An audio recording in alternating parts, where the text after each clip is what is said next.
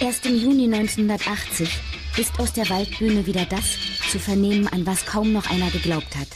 Ein unendlicher Jubel.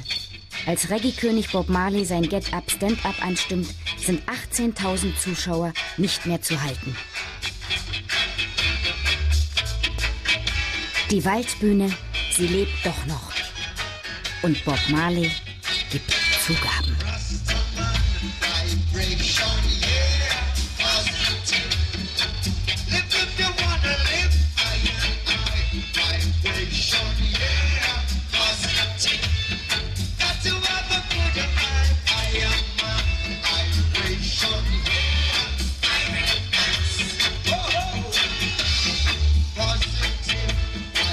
Haben Bob Marley erlebt.